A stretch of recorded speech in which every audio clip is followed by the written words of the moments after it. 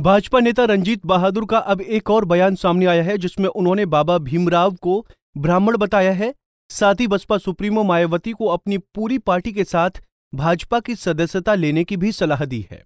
अपने को दलित कहें, हमें कोई आपत्ति नहीं है। लेकिन मायावती जी तो अपने को दलित की बेटी कहती है, अपने को दलित कहाँ कहती है? अपने पिताजी को दलित कहती है, अपने को दलित कहें कि मैं दलित हूँ एक आईएएस आईपीएस कभी अपने को दलित नहीं कह सकता है। दलित का अर्थ दबा कुचला हुआ होता है। इसलिए मैंने ये बात कही थी रह गई अंबेडकर जी की बात।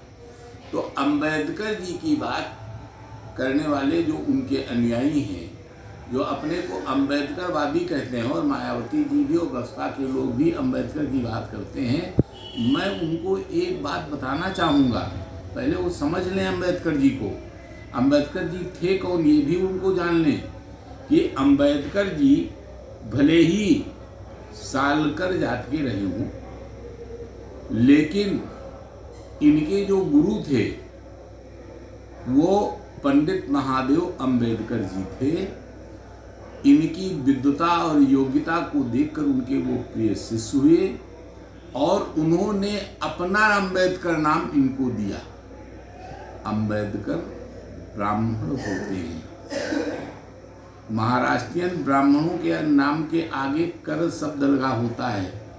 जैसे सिरोडकर, करलेकर, तेंदुलकर, कर का अर्थ हाथ से होता है।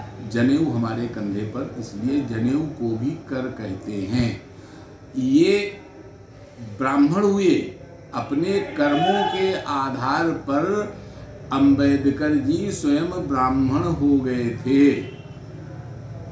मैं इनको ब्राह्मण मानता हूँ, और वो अंबेडकरवादी आज ब्राह्मणों को ही गाली दे रहे हैं। देखिए, कितनी अज्ञानता की बात है।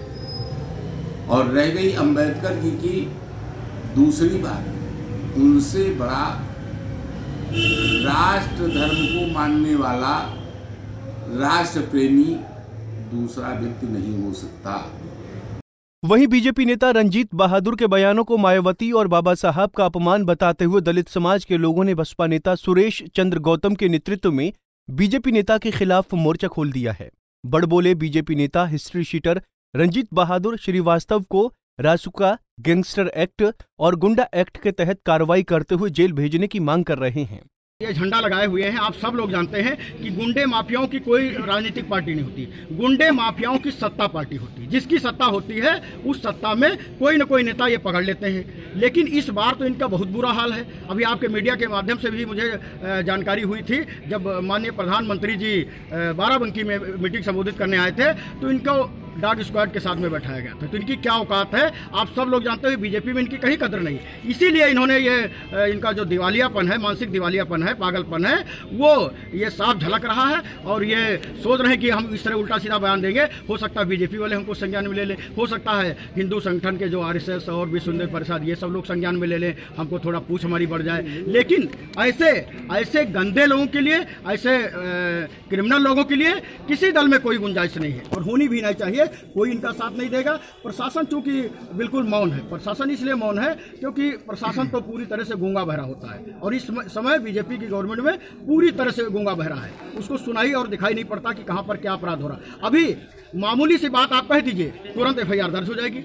कोई कमेंट कर देता है कहीं सोशल मीडिया पर, तुरंत एफआईआर दर्ज हो जाती है। और इसने इतने बड़े बड़े मतलब भारत रत्न बाबा साहब, डॉक्टर भीमराव अंबेडकर को अपमानित करने का काम किया। सैनी बहन कुमारी मायावती जैसी ताकतवर जो महिला हैं, महिला महिला तो इसका टारगेट है। महिलाओं को बहुत ही अपमानित करता है। ये अभी जो हमारी बहन के साथ मर्डर हुआ, वहाँ हाथरस में उसे भी बहुत गंदे कमेंट किए और इस बार बहन कुमारी मायावती जी को टारगेट किया। तो महिलाओं का विरोधी है, दलितों का विरोधी है, पिछड़ों का विरोधी और है तो ये अपर कास्ट का भी नहीं, किसी का नहीं है बता दें कि बीजेपी नेता रंजीत बहादुर श्रीवास्तव का मायावती को कम पढ़ा लिखा और नकल करके एलएलबी पास करने वाला बताते वीडियो सोशल मीडिया पर वायरल हुआ था। इससे पहले उन्होंने हाथरस कांड को लेकर शर्मनाक बयान दिया था। उन्होंने कहा था कि आखिर लड़कियाँ खेत में घास काटने जाती ही क्यों हैं?